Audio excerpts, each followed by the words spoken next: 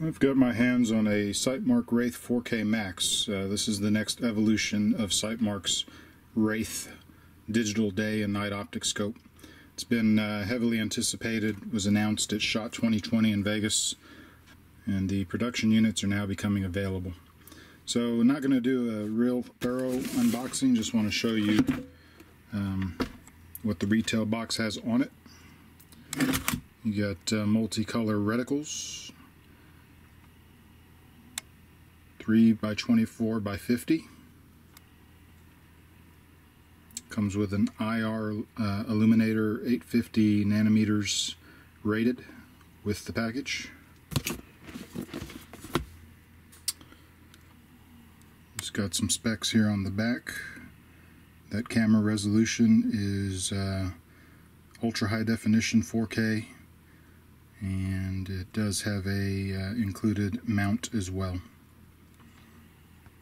I can tell you I have the scope already mounted to a rifle. So here's what the interior of the box looks like. The eye cup was in here. Uh, the scope laid in here. Comes with a quick start guide, a cleaning cloth, and then the included IR illuminator with a straight riser mount. So it'd be four positions off, low, medium, and high. Runs on two CR123s. Alright, so I'll roll in some footage uh, from the range and then bring you back here.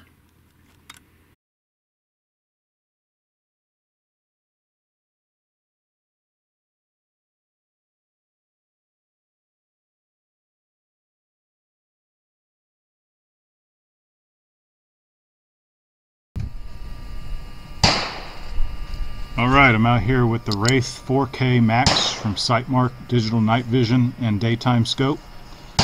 Right now I'm on 4K 30 frames per second resolution. Uh, I'll get my chronograph out of the way here shortly. Uh, but the test that I'm doing right now is just an initial zeroing test of the scope, the optic, on a 6mm ARC barrel. Uh, the targets you see are at 100 yards. I will try to, as I said, get the chronograph out of the way and then give you a clear view of all those targets in some various resolutions. The heads-up display you cannot see in the recorded image. So right now I'm at native magnification and it says 1 times digital magnification. So as I call this out, I'm going to be calling out the digital magnification level that's in the lower left of the HUD that you can't see. Alright, 1.0, native magnification. 1.5. 2. 2.5. 3. 3.5. 4. 4.5. 5. 5.5, 6, 6.5, 7, 7.5, and 8 times. So this is max digital 8 times zoom. Try to achieve zero.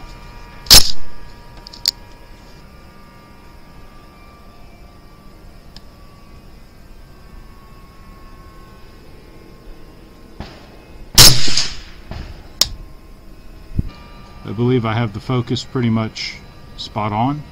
Check it.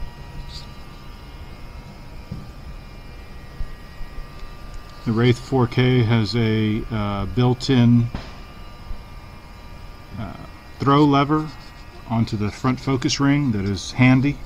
Allows you with uh, relative ease to make those adjustments from top dead center uh, at 100 yards. Uh, okay, so Earlier I fired around with my point of aim being the center large bullseye like I'm holding now. The shot impacted right here. So I need to stop recording, go into the menu, and go ahead and make a one shot zero adjustment. And when I come back on the uh, recording here. We're going to take a shot dead center and see if it hits. Alright, we're back. I'll chamber around.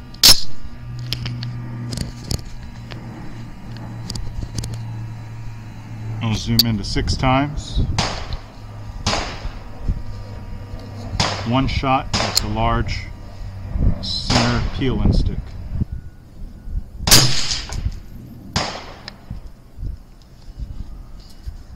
Okay, so after one shot, zero,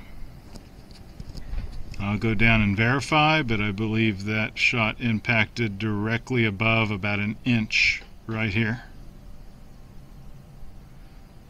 Which is about perfect for what I want to do with the 6 millimeter ARC. An inch high at 100 should be dead on it too. So I'll verify that here shortly. And then we will take uh, three shot groups here and three shot groups here.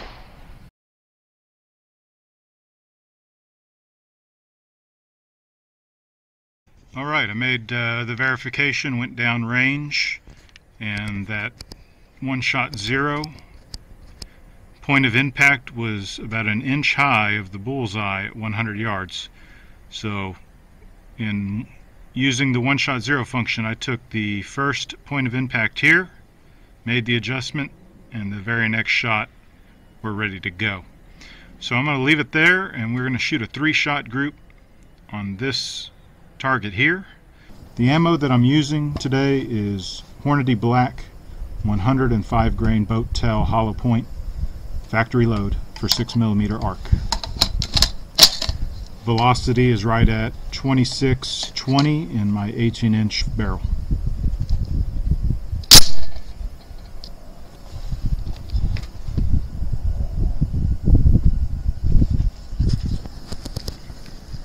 go ahead and go all the way up to eight times magnification.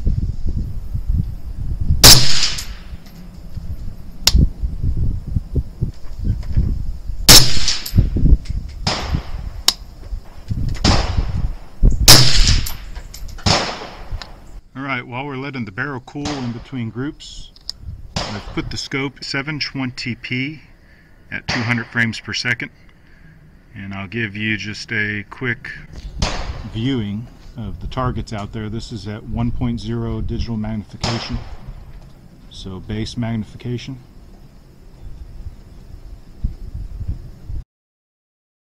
Take it up halfway to four times.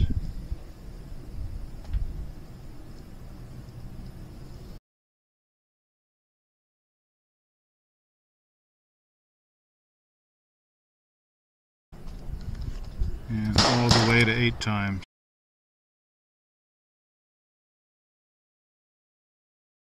You can see the words are not really visible on the targets. While scanning side to side, the image is crisp and quick to refresh, but the detail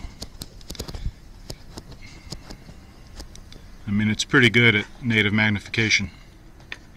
Uh, 720p is no slouch.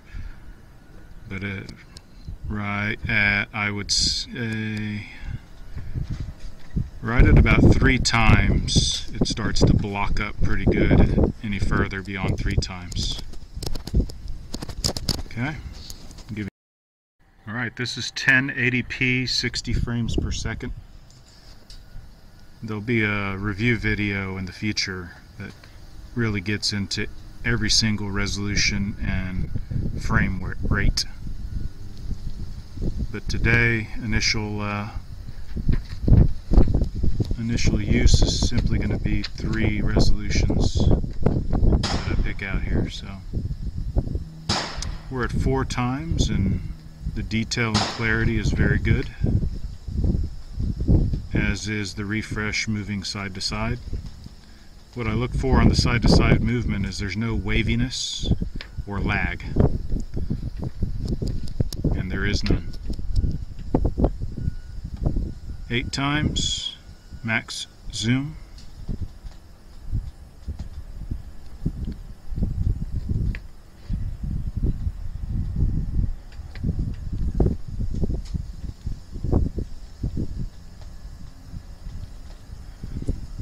See these targets work very well. Uh, that's a Birchwood Casey there. Uh, it's a very good target for uh, zeroing. This one you can still make out the cross the cross lines in the white area, which is nice. I'm impressed. I'm impressed with the 1080p 60 frames per second. It looks really good. All the eight times.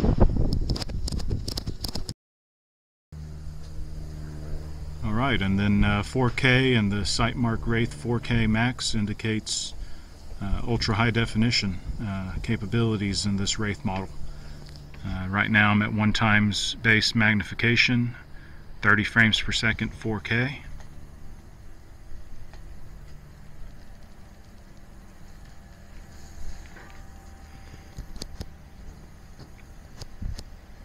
I can tell you through the viewfinder I can see minute details in the terrain, the, the foliage, grass, shrubs, and sand uh, berm behind. And this looks really, really good.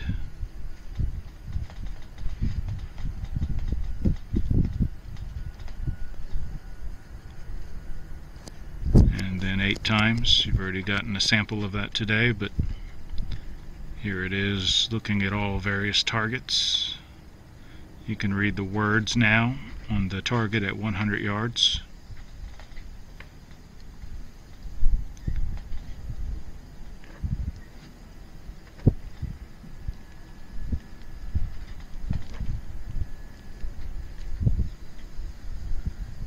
And on this model of the Wraith it has audio capability in the recording, so that's also an enhancement that's welcomed uh, from the previous Wraith model.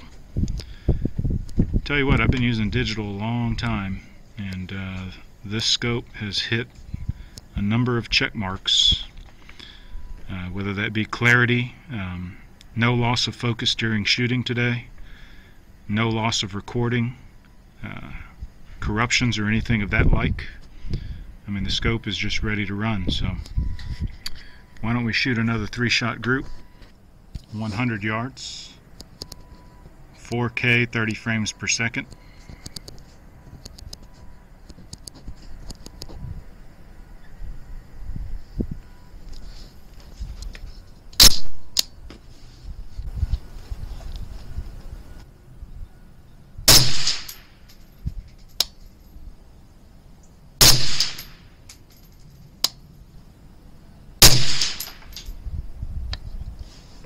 From behind the scope, I feel like I can really place some accurate shots at the 8 times digital magnification.